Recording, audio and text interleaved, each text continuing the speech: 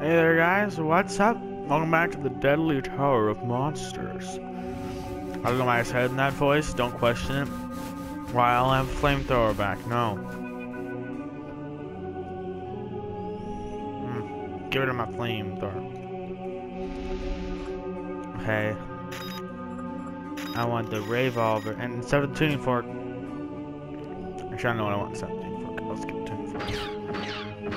I just like the revolver because of the noise it makes. I don't even know if it's better. I think a flamethrower is probably better. But the revolver makes a Star Wars shooting bobber noise, so it's beautiful. So this is, a, as you can tell, top-down game. It's like it's kind of like if you were playing a really weird like 70s sci bad like bad 70s sci-fi movie. Not bad, I guess. Oh no, not you two again.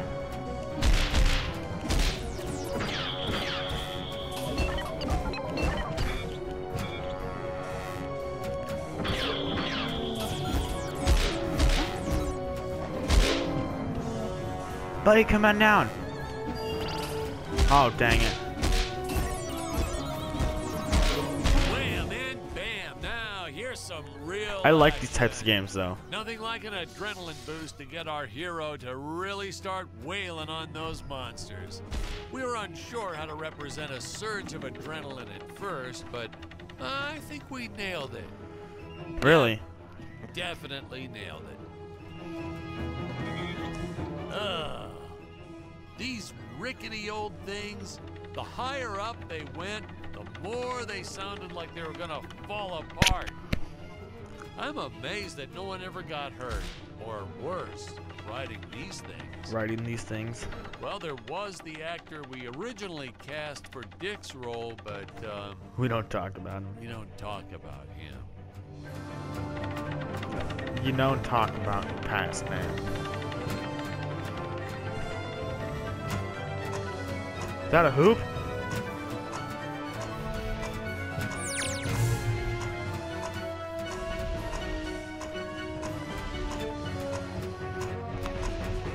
Don't touch the fire. Fire's bad for you. You really start to get a sense of how high up our heroes have been climbing here. Oops. Reminds me of how the crew always used to comment on how high everyone was. Those jokers, they'd even say it when we were filming the grounded scene. And they all giggled like school children whenever they mentioned it too. So I'd make sure to laugh even harder so they'd know I was in on the joke. Whatever it was.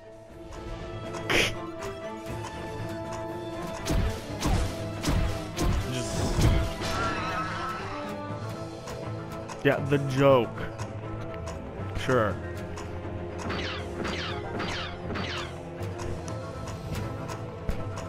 There's a man coming in. Got one at five o'clock.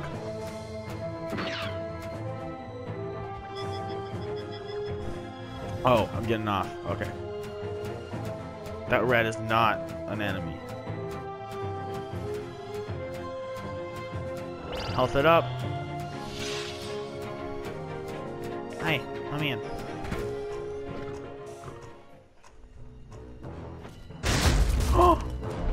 No, the gorilla. I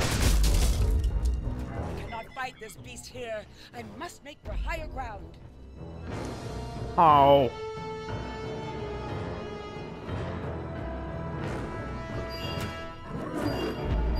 Don't do this to me.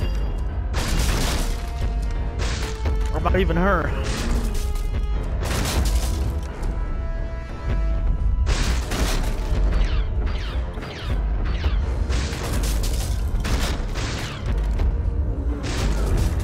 Don't explode. Up, up, up, up.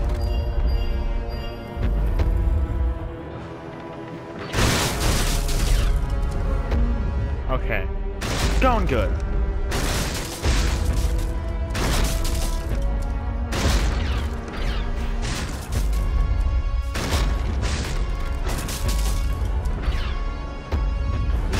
Look like I should shoot them. Go, Robo. Actually built sets back then. props, walls, you name it. Then you moved bits and pieces around and created whole new scenes. We were efficient. I adopted that technique to my wardrobe too. If you mixed and matched sufficiently, you could get by for years on only a handful of shirts and underwear. Really? Bang it. So does it just restart you? Yeah, it is. It is all the exact same thing, isn't it? that.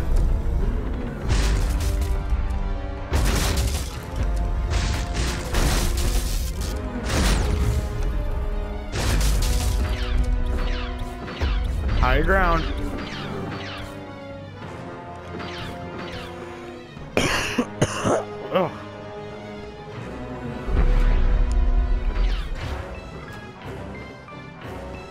Get up.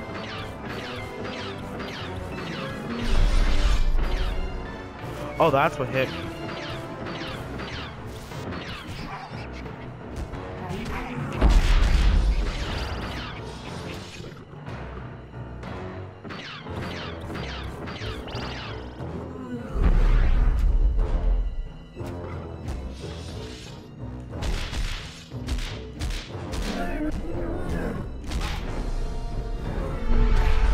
Don't kill your own buns, buds.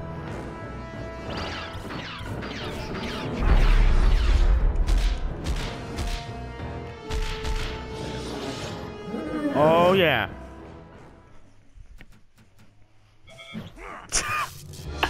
ah. I can never get enough of these free falling shots. Something so invigorating and freeing about them. Like Yeah, I guess. sticking your head out of the sunroof while driving on the freeway. I can just hold it down. That's nice. Get him.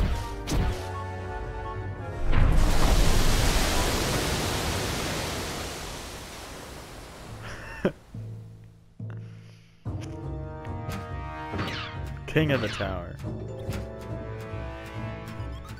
Use console to ascend. Okay. Well, there's a lot of tower.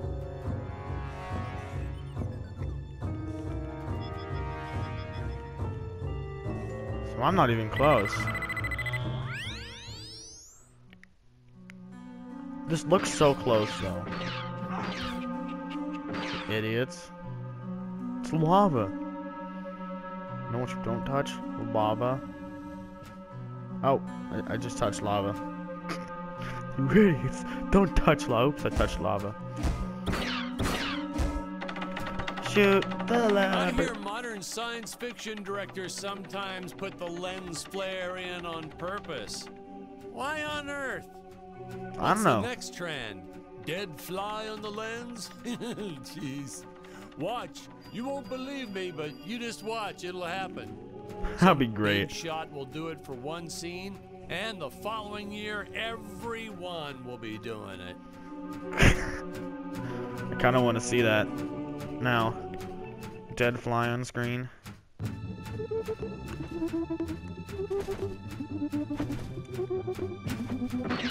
Ooh.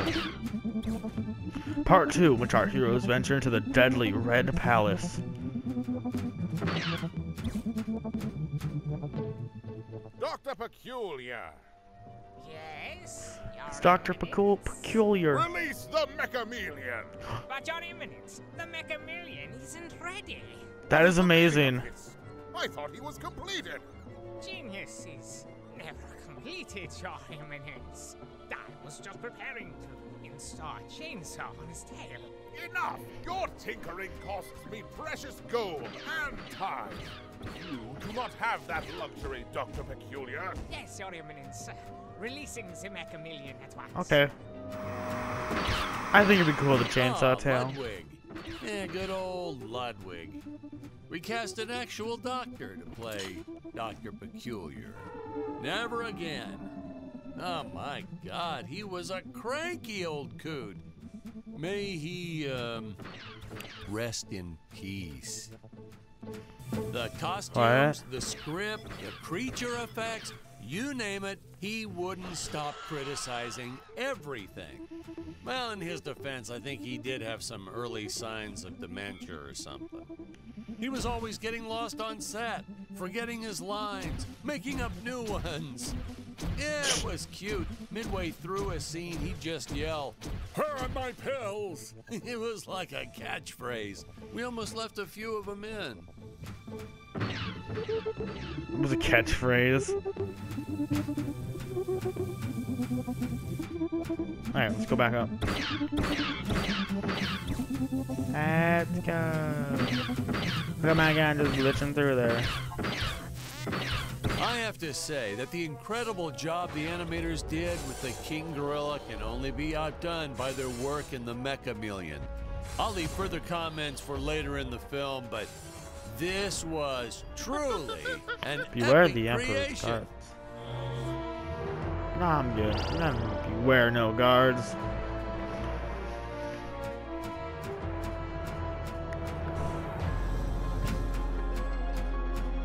It's nice up here though. It's all red. Whoa!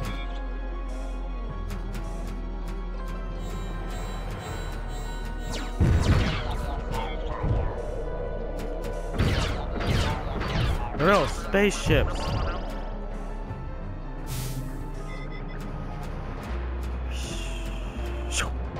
Nah, just kidding. Well, I don't know what I'm kidding about, but okay. Um, hammer. Okay. I want to upgrade the scimitar. I can never say it right. Scimitar, scimitar. Oh, how do you say it? However the heck. I think they're scimitars.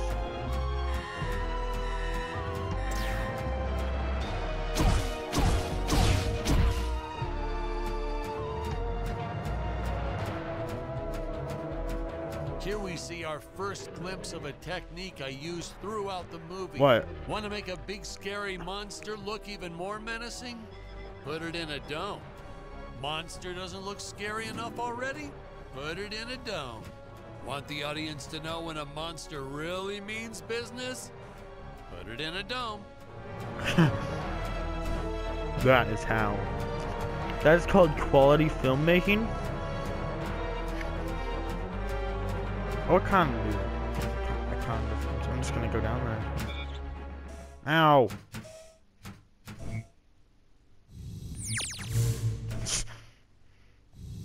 Why would I want to air teleport back to there?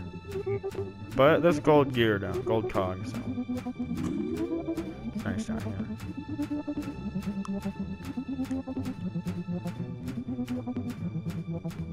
Boom!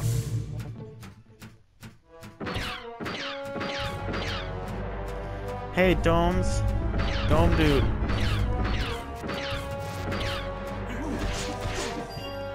No!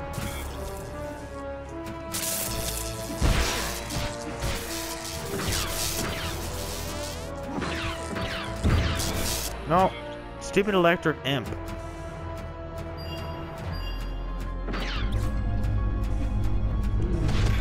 It's almost like it's trying to kill me.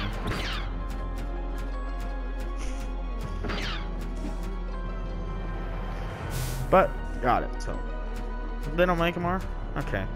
Still over here.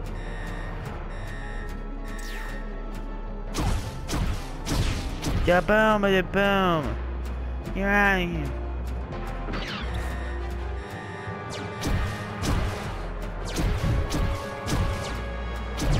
Oh my gosh. Ah, the little mini saucers. Oh, these guys were just adorable. The mini saucers. They are adorable, actually. Actually, I kind of want to put Star Wars Battlefront, not the new Star Wars Battlefront, the actual old Star Wars Battlefront on here, but I was a huge fan of the old classic movie, The Flea from 1958. So I created this monster as sort of a sort of an ama, homage, ama, homage, homage Um, uh, in respect to that film, I have the darndest time with that word homage. Oh, Man, oh man, that whip. We probably should have invested in some training courses so the actors knew how to properly Oh, that's the- I like the whip. Instead, we just let them flail it around wildly. You know that saying, it's all fun and games until someone loses an eye? That's true. That- And that's the story of why the Emperor wears that metal monocle. Greg was a real trooper about it, though. Didn't even seem fazed that he'd have to wear an eye patch for the rest of his life. I think he went on to do some pirate themed promotions at his used car lot once we wrapped up production. I like him. He's an optimistic man.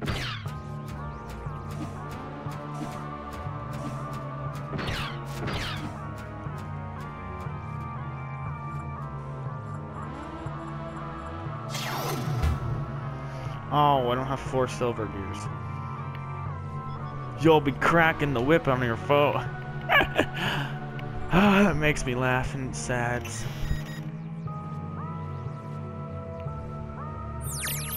Atomic Dash. Oh! I think I might use the Sima. The epic longsword. Can I upgrade the epic longsword? Evidently magical super sword. Eh. I could get the Kraken like instead. Where is my chameleon? Why has it not pulverized the intruders? Well,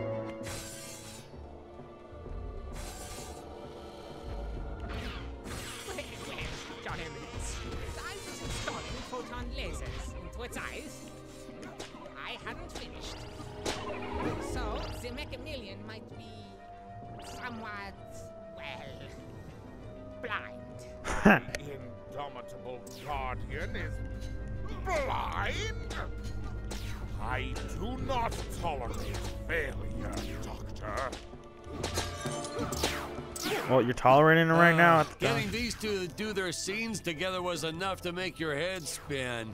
They weren't strictly speaking actors, well, not in your usual sense.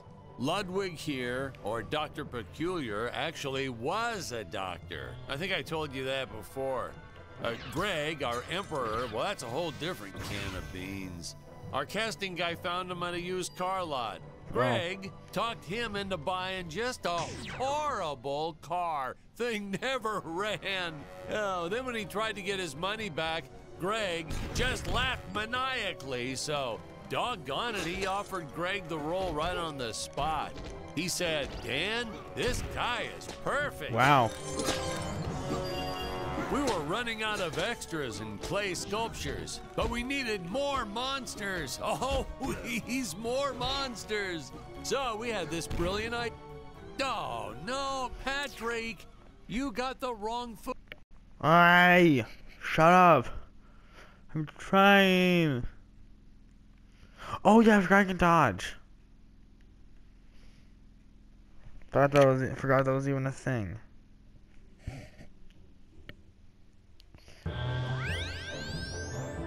Wow, just a random place. I didn't like it. Stop it! Why do you, why do you glitch out like that?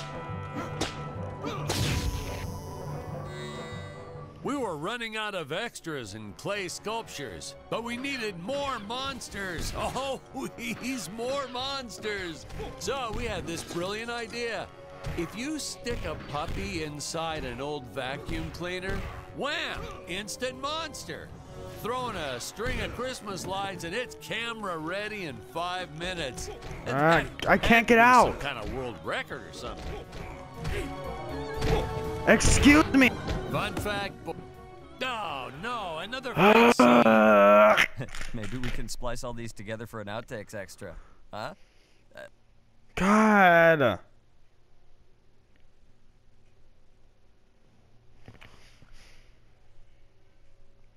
Why?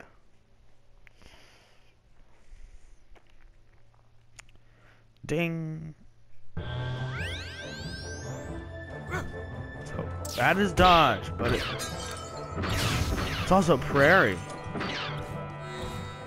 We were running out of extras and clay sculptures, but we needed more monsters. Oh, please, more monsters. So we had this brilliant idea. If you stick a puppy inside an old vacuum cleaner, wham, instant monster. Throwing a string of Christmas lights and it's camera ready in five minutes. And that had to be some kind of world record or something. Fun fact, Hey. boys and girls. Cinematographers don't like it when you use their dog without asking permission first. But hey, to that I say, what goes around comes around.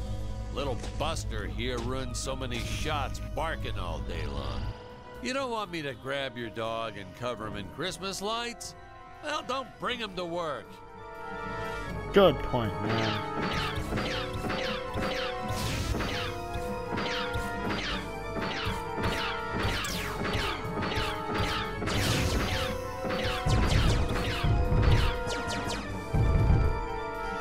How am I supposed to hit? Hey!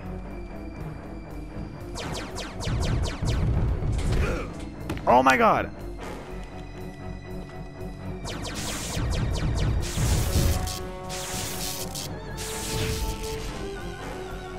Excuse me, I'm looking for a fun, relaxing game.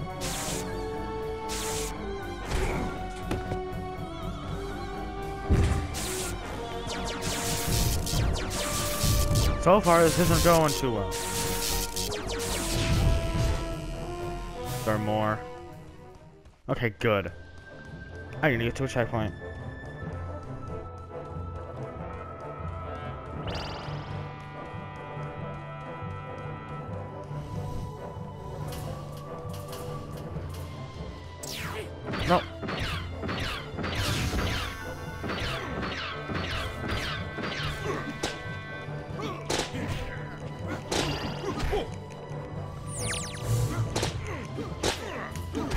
Okay.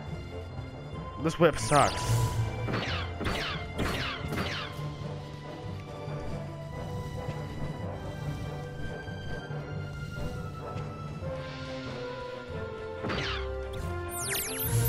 The Scarlet Sprint. Okay, I'm gonna end this here. Hope you enjoyed this episode, and I'll see you in the next episode. Bye bye.